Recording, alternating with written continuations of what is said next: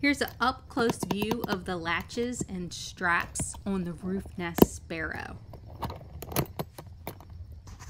As you can see, you have to squeeze the button on the left hand side of this latch to get it to open or close. It's a safety feature so they shouldn't pop open while you're driving down the road.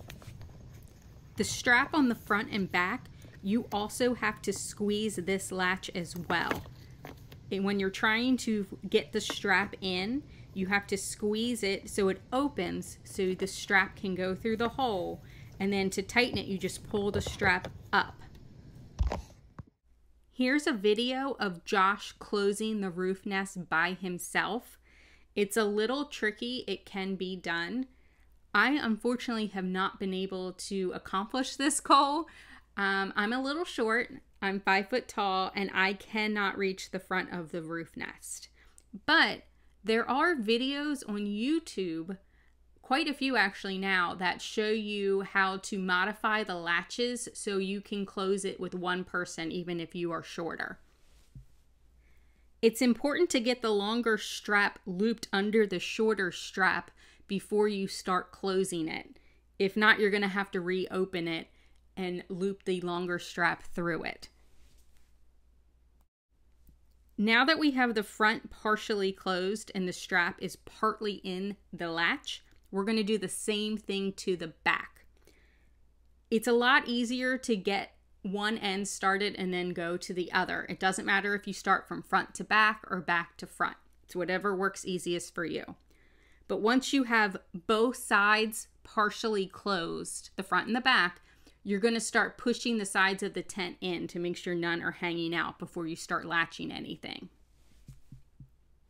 You can see here, Josh is trying to make sure the longer strap is tucked under the shorter strap before he starts closing it.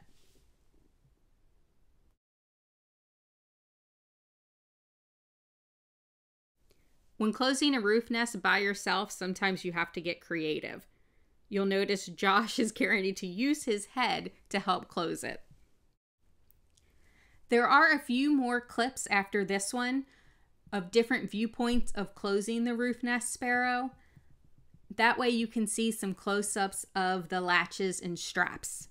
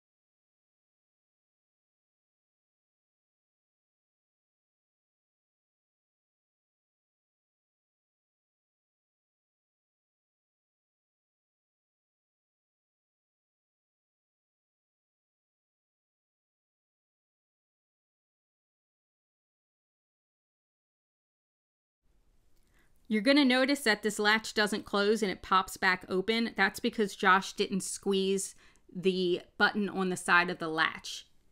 Once he does that, it will stay shut.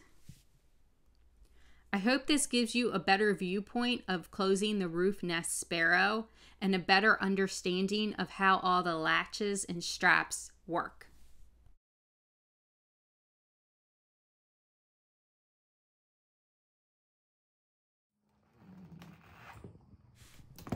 We hope this video helps.